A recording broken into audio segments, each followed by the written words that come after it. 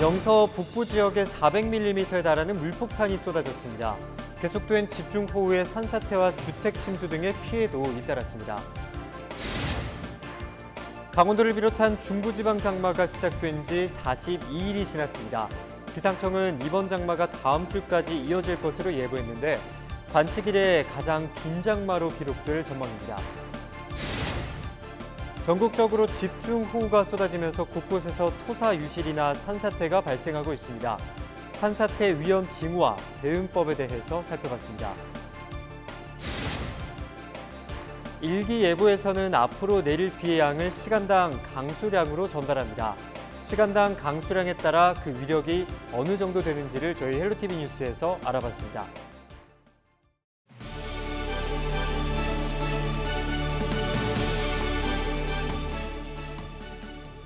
여러분 안녕하십니까? 헬로티비 뉴스입니다. 강원도 전역에 호우특보가 내려진 가운데 도내 곳곳에 400mm에 가까운 기록적인 폭우가 쏟아졌습니다.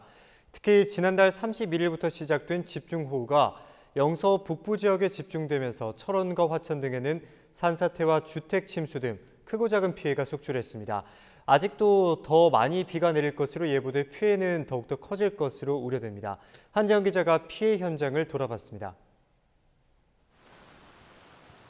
앞을 분간할 수 없을 정도로 강한 비가 세차게 퍼붓습니다. 산비탈에서는 마치 폭포수 같은 빗물이 도로 위에 그대로 쏟아집니다. 시간당 80mm에 달하는 집중호우로 경사면에서 토사가 유실된 겁니다. 도로 바로 옆 계곡물은 마을을 삼키려는 듯 무섭게 쓸고 내려갑니다. 언제든 산사태가 발생할 수 있는 위험한 상황. 도로당국은 통행을 차단하고 차량들을 돌려보냈습니다. 물폭탄에 가까운 많은 양의 비가 쏟아지면서 저지대 범람 등 침수 피해도 잇따랐습니다. 계속되는 집중호우로 침수 피해가 발생했던 한 가정집입니다. 주민들은 모두 무사히 대피했고 긴급 복구로 물은 모두 제거됐지만 물에 젖었던 가전제품들이 그대로 남아 있어서 당시에 긴박했던 상황을 그대로 전하고 있습니다. 지난 31일부터 시작된 장맛비는 영서 북부 지역에 집중되면서 닷새 동안 400mm에 가까운 폭우를 내렸습니다. 계속된 장맛비에 지반이 약해지면서 철원군 서면 와수 1위 지역은 복개천이 범람해 시가지 일부가 물에 잠겼습니다. 화천 양구 등에서도 침수 피해가 잇따라 도내 5개 지역에서 이재민 70여 명이 발생하기도 했습니다. 때가 12시 한 40분 거점 한심 됐을 그때인데 비는 막 아주 억수같이 쏟아지더라고요. 목욕탕 하수도에서 이제 물이 들어오는데 그걸 어떻게 막을 수가 없더라고요. 장이고 뭐 이불 보따리고 살림이고 그때는 손 하나 안 됐어도 그냥 다 나갔어요. 4일 인제에서는 계속된 비에 계곡물이 불어나 관광객 10여 명이 고립됐다가 소방대원에게 구조됐고 횡성에서도 일가족 9명이 계곡에 갇혀 있다가 4시간 만에 구조됐습니다. 또 6개 시군 농경지 41.6헥타르가 침수되거나 유실됐습니다. 강원지방기상청은 영서 지역이 5일까지 100에서 300mm, 많은 곳은 최대 500mm가량의 비가 더 내릴 것으로 예보해 추가 피해 발생이 우려됩니다. 헬로티비 뉴스 한재영입니다. 네, 앞서 보셨듯이 집중호우의 기세가 심상치 않은데요. 강원도를 비롯한 중부지방은 벌써 장마가 시작된 지 42일이 지났습니다. 기상청은 이번 장마가 다음 주까지 이어질 것으로 예보했는데 관측 이래 가장 긴 장마로 기록될 전망입니다. 홍승현 기자입니다. 기상청이 장마 관측을 시작한 뒤 가장 길었던 해는 2013년입니다. 그해 중부지방은 6월 17일부터 8월 4일까지 무려 49일 동안 비가 계속됐습니다. 그런데 올해 장마 기록이 새로 쓰일 전망입니다. 6월 24일에 시작한 이번 장마는 4일 기준으로 42일째를 맞았습니다. 기상청은 장마 전선이 중부지방에 머무르면서 길게는 14일까지 장맛비가 계속될 것으로 전망했습니다.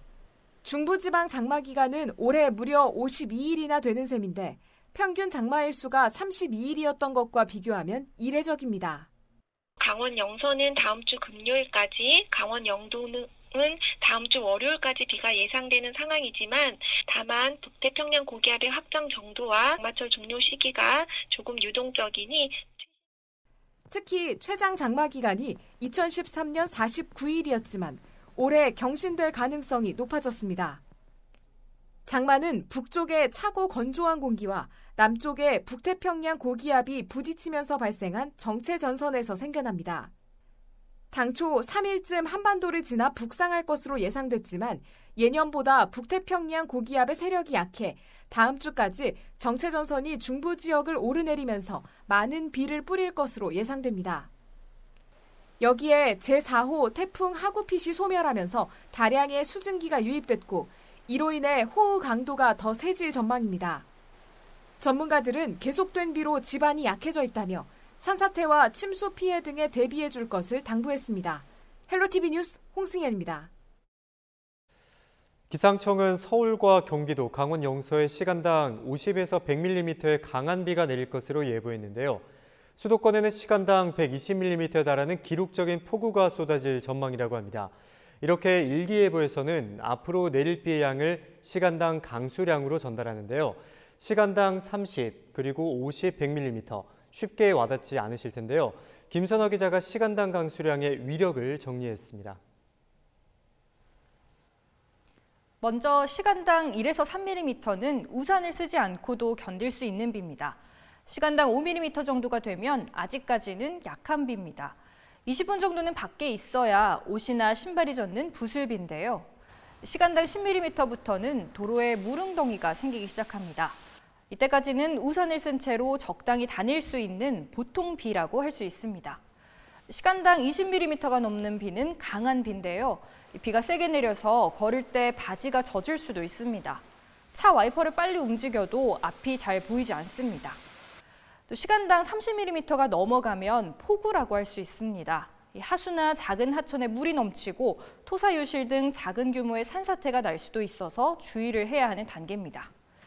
시간당 50mm 이상일 때는 양동이로 쏟아붓는 것 같은 느낌이라는데요.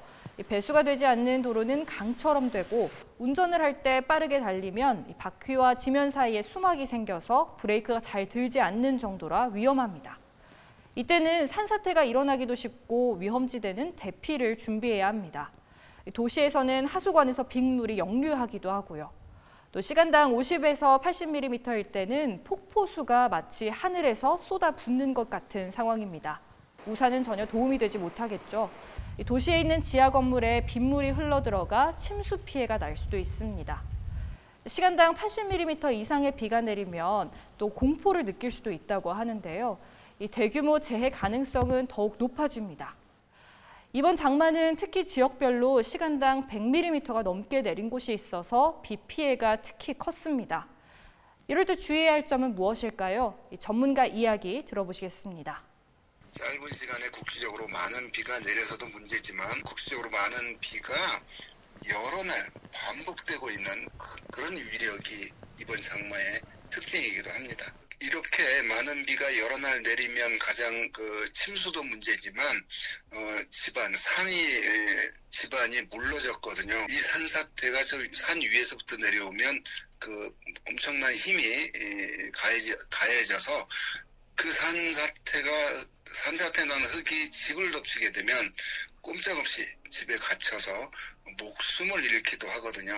그래서 따라서 산 주변에 있는 그 분들은 각별히 조심을 해야 되겠고요. 네, 기상청은 다음 주까지 비가 내릴 것으로 내다보고 있는데요. 더 이상의 피해 없도록 일기예보 잘 참고하셔서 미리 대비하셔야겠습니다. 지금까지 헬로티비 뉴스 김선아입니다.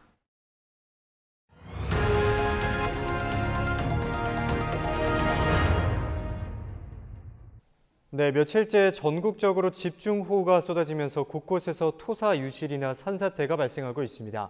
특히 이 산사태는 순식간에 일어나기 때문에 이를 미리 알고 대처한다는 게 사실상 어렵습니다.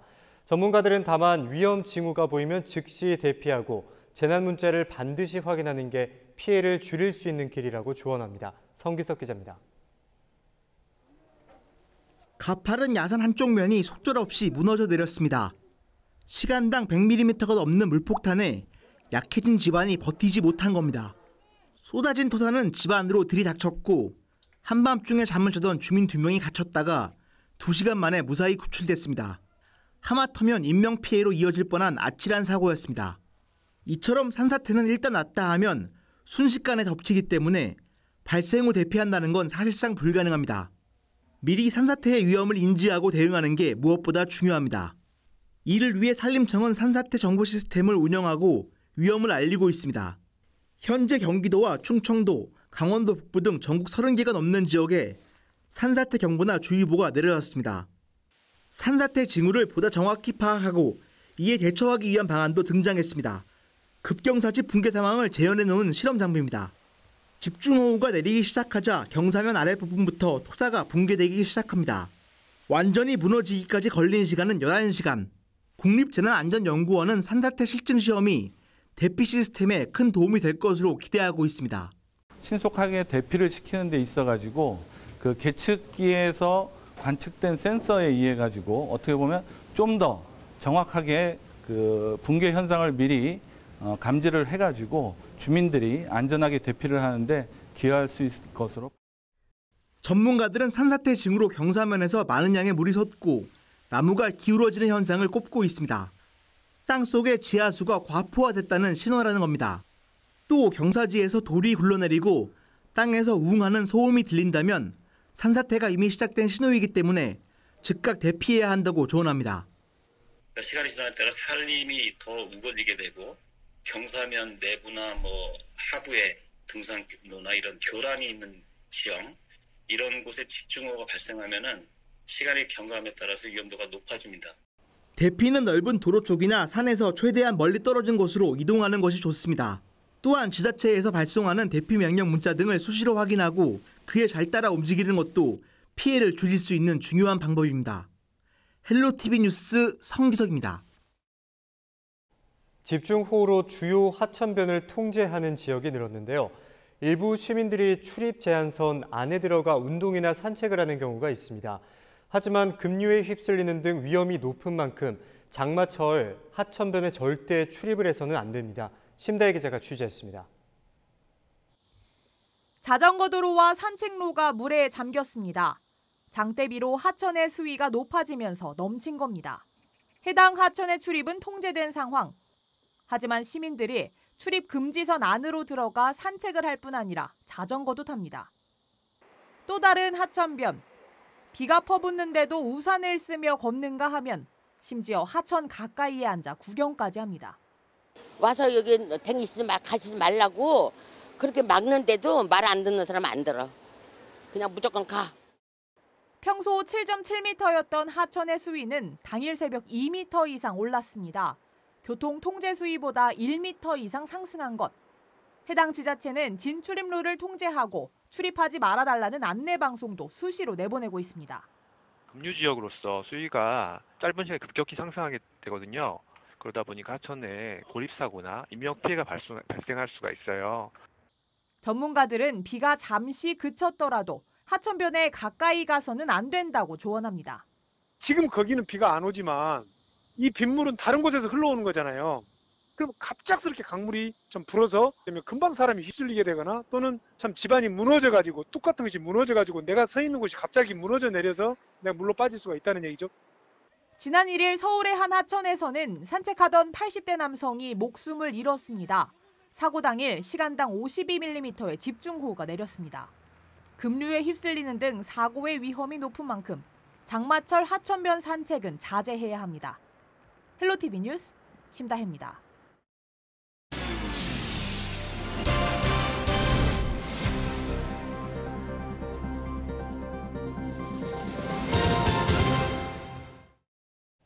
올해 유난히 길었던 장마 탓에 벼 도열병 확산이 우려되고 있습니다.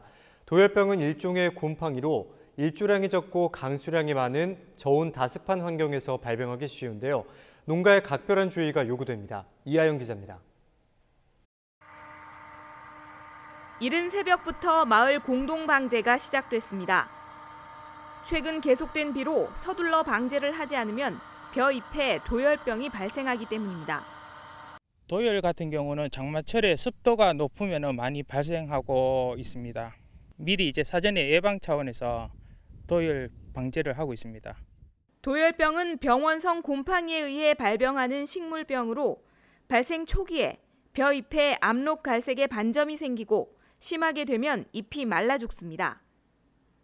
최근 한 달간 일조 시간은 평년보다 40시간 가까이 감소했고 강수량은 80mm 이상 증가하는 등 저온 다습한 환경이 조성되면서 도열병 발생 우려가 커지고 있습니다. 잦은 강우로 인하여 벼농사에 도열병 발생이 우려되고 있습니다.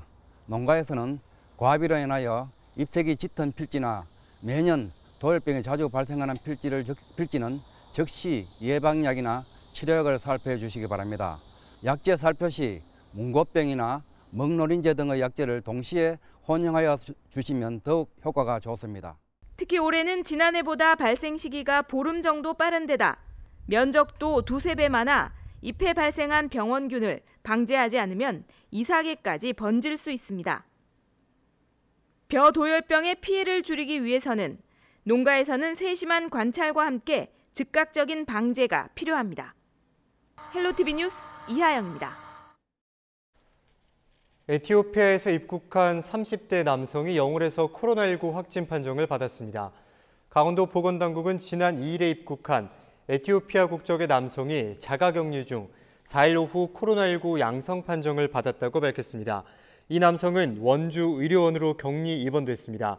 보건당국은 폐쇄회로TV 등을 조사해 역학조사를 할 방침입니다. 동부지방산림청은 호우 발생이 장기화되고 산사태 위기경보 수준이 경계로 격상됨에 따라 산사태 대책 상황실을 운영한다고 밝혔습니다. 특히 산사태 취약 지역과 민가 주변에 임도관리단과 산사태 현장 예방단을 투입해 산진의 물 흐름이 원활한지 점검하고 현장 조치할 예정입니다.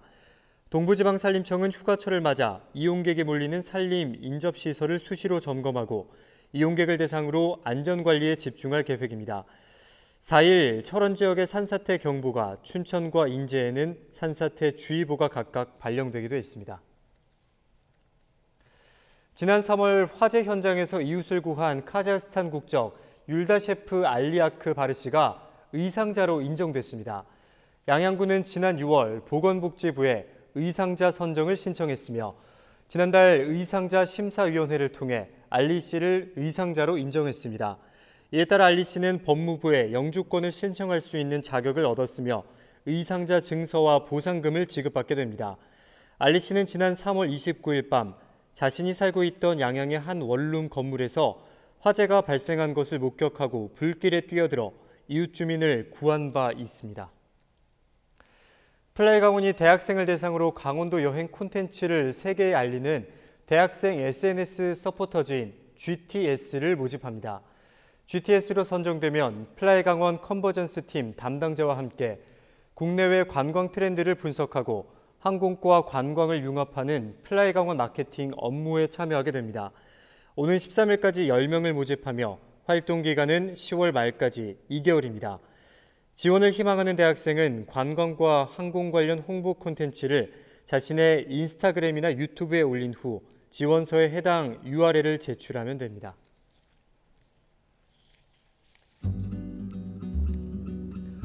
이어서 날씨입니다. 수요일도 영서 지역을 중심으로 100에서 많게는 500mm까지 물폭탄이 떨어질 것으로 전망되는 만큼 침수 피해 없도록 미리 철저히 대비해 주시기 바랍니다. 다음으로 자세한 지역별 기온을 살펴보면 내륙 지역을 중심으로 원주 30도, 동해안으로는 강릉 32도까지 오르겠지만 비바람으로 인해 체감 온도는 낮아 큰 더위는 없겠습니다. 끝으로 주간 날씨입니다. 이례적으로 긴 역대급 장마가 이어질 것으로 예상됩니다. 영서 지역으로 당분간 비 소식이 길게 들어 있고 영동 지역으로도 장맛비가 자주 내릴 것으로 보여 교통 안전 사고에 각별히 주의하시기 바랍니다. 네, 이상으로 뉴스를 마치겠습니다. 저희 헬로티비 뉴스는 지영민과 함께합니다. 함께해 주신 여러분 고맙습니다.